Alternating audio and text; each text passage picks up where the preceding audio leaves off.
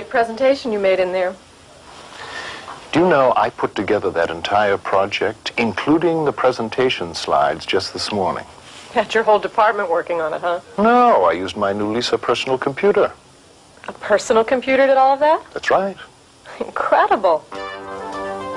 The Lisa computer is incredible. In just a few moments, it helped me adjust a schedule chart. Update an entire budget. Write a memo, which included part of the budget. Develop some graphics. And create a distribution list. And I had time to spare before my meeting. And now with my Lisa working for I can do this kind of project every day and still have time to relax. You see, Lisa's screen is special. Now, you can think of it as being like your office with a desktop and other office fixtures. Now, you see what I mean about the screen? It's very graphical. Here's a place to store information, a folder, and a place to get rid of information, a waste paper basket. On the top of the screen, there's a menu bar. It tells you what kinds of functions are available at any one time. This entire arrangement is called the Desktop Manager. We control Lisa by pointing to these images on the screen with this unique item called a mouse. By moving the mouse, we move the pointer. To open my folder, I point to it and click the mouse button, selecting it. Now, by going to the menu bar and depressing that button again, the menu is displayed. The option that I point to, in this case, Opus Project, is highlighted in black. When I release the mouse button, I can see the contents of the folder. I can quickly put the documents in any folder in Lisa, and even store folders inside other folders, just as I do in my office. Now, earlier today, I filed a project schedule in this folder. Let's retrieve it. I go back to the File Print menu and choose this option, which opens the document on my desktop. I can now see what the document contains. This is only a small part of the whole project. If I want to see all of it, I can open the page layout menu and choose Reduce to Fit. The whole chart fits on my screen at one time. But since I only want to work with tasks in the next few weeks, I'll only show part of the chart.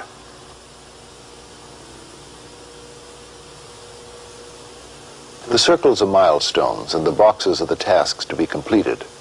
Inside each box is the name of the task, who's responsible for it and how long it will take. I can also see two dates associated with each task and milestone. This one is the latest I must start a task if it's to be completed on time, and this one is the latest I have to complete the task if I'm not to delay the whole project.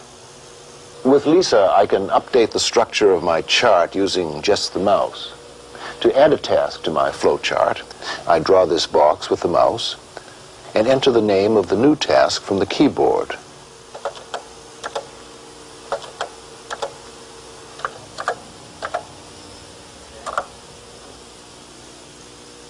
Can delete this old line using the mouse. and draw in these new lines.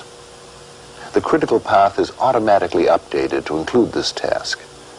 The heavily bordered boxes on the bottom show the connected tasks that take the longest. That's why it's called the critical path. I can rearrange the boxes to make the chart easier to read. All I do is grab the box with the mouse and move it over.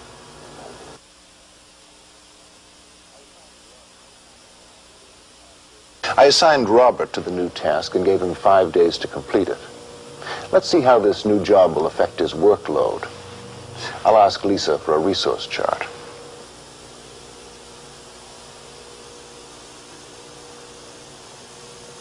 I can see that with this new project, Robert will probably be overbooked, but Stephen has some slack time. Once the project begins, well, I can monitor work progress by entering the days remaining on each task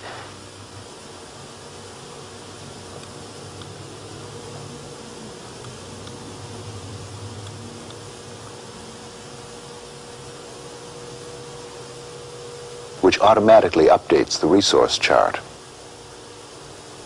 Lisa Project simplifies scheduling so I can manage my resources better.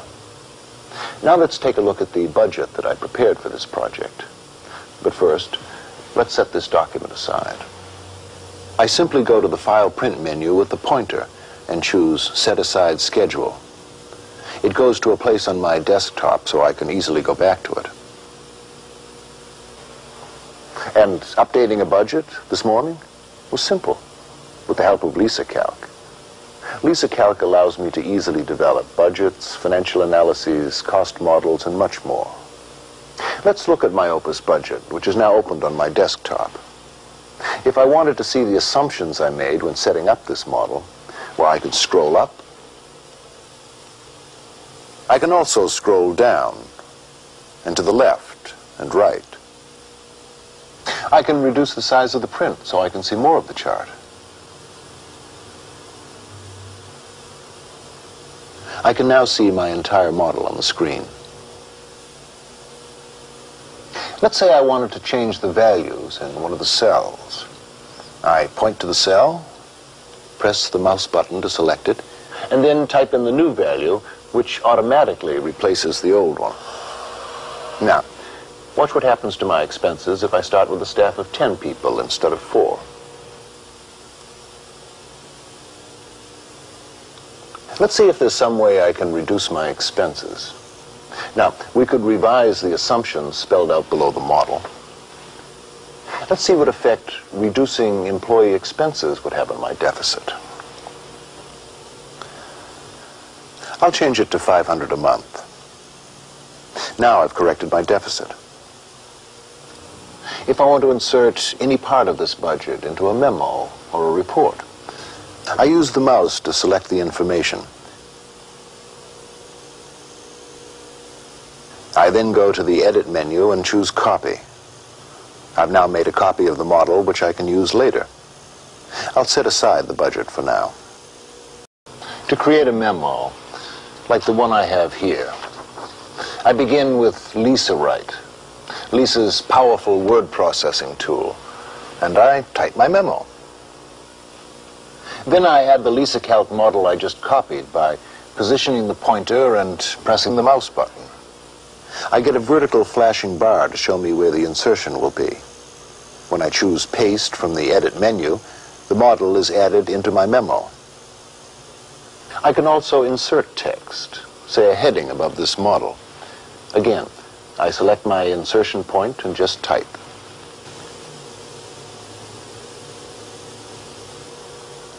I can even center it and then change the text style.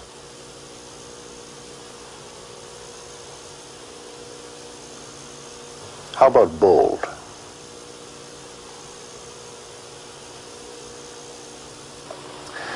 I can work with any document until it looks the way I like. And then with Lisa's printer, well, I can copy the document exactly as it appears on the screen. Now, I could send this memo off now, just as it is. But if I wanted to make the critical budget information obvious at a glance, I should graph it. With Lisa, we can draw different kinds of graphs, like bar charts, pie charts, and line charts. Here's that budget again. Now I'm going to select just the critical information. Next, I copy that information just as I did before and get the graphics document we wish to create.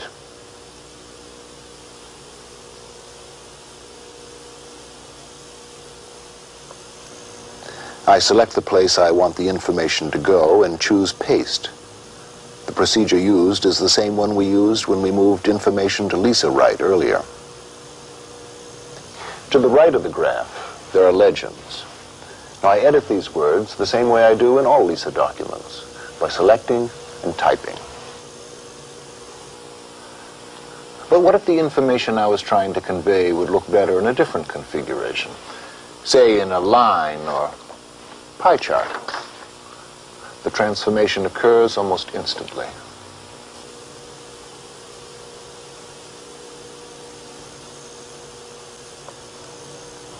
To complete the graph, I can add titles in different type styles and sizes, just as I could in the memo.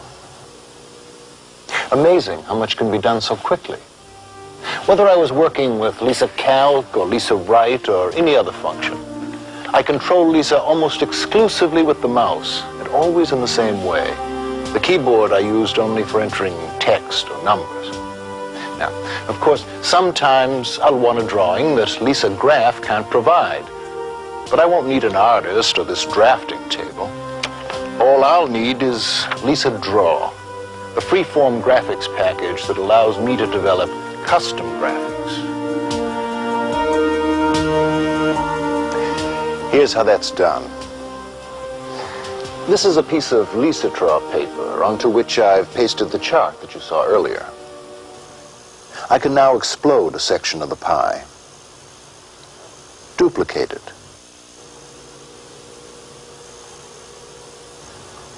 and shade it with a different fill pattern.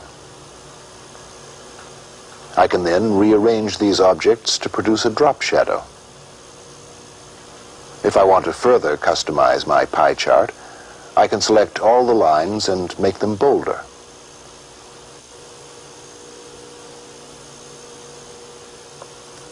I can also move text. And now, add something new. By choosing this particular template, I can always draw perfectly straight lines. I could even print this out exactly as you see it here. Amazing? Not really. Lisa just makes it easier for you to do a lot of the things that you're doing already, but better. Finally, Lisa will help me make a distribution list for this report on the Opus project. Let me show you how. This document is a list of all the employees in the company. It contains their names, mail stop, departments, and other information about them. Suppose I wanted to send this report to everyone on the Marketing Council. I select the Find What option on the list menu. Go to the Marketing Council column and type Yes. After I tell Lisa to find and show, I get only those employees on the Marketing Council. Since I don't want all this information on my distribution list, I choose what order and format, and I can now say no in those columns that I want omitted. I can also sort this list by mail stop.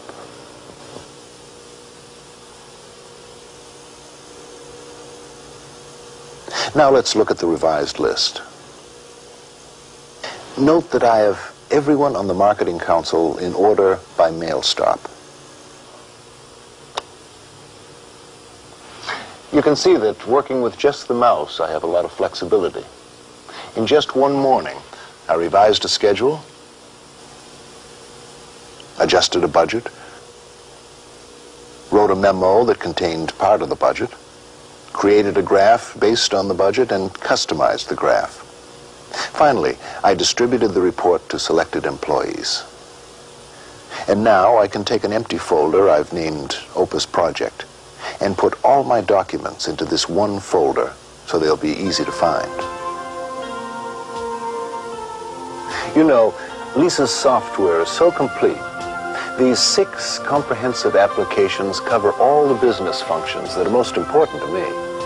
Spreadsheet modeling, charts and graphs, list management, text processing, project management, and presentation graphics. And because of the attention Apple has paid to making these graphics and this mouse work for me, well, I need to learn only one way of doing things to work all the applications. And since Apple has thoroughly considered the needs of the business person, Lisa also communicates to the central computer that I share with other managers. And of course, my company can use Lisa's development languages to customize its own programs. Do yourself a favor. Ask to see how the power of Lisa can work for you.